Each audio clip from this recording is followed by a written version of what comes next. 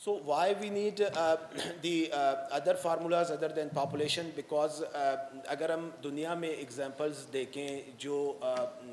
जिस तरह दुनिया में तरक्की हुई है let's suppose uh, we take the example of Germany. Uh,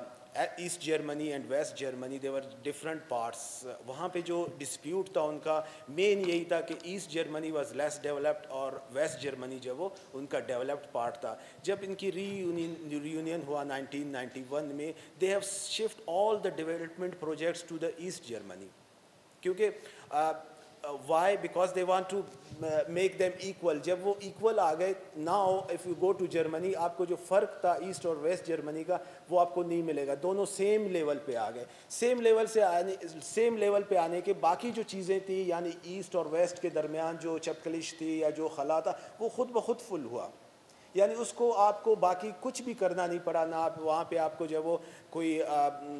ताकत का इस्तेमाल या इस तरह की चीज़ें just because of the resource distribution आप अगर रिसोर्स को सही डिस्ट्रीब्यूट करेंगे, इससे बाकी चीज़ें जो वो खुद ब खुद जो वो अल होंगे। और definitely when you are talking about development अगर आपको डेवलपमेंट के लिए यू नीड इन्वायरमेंट अगर वो environment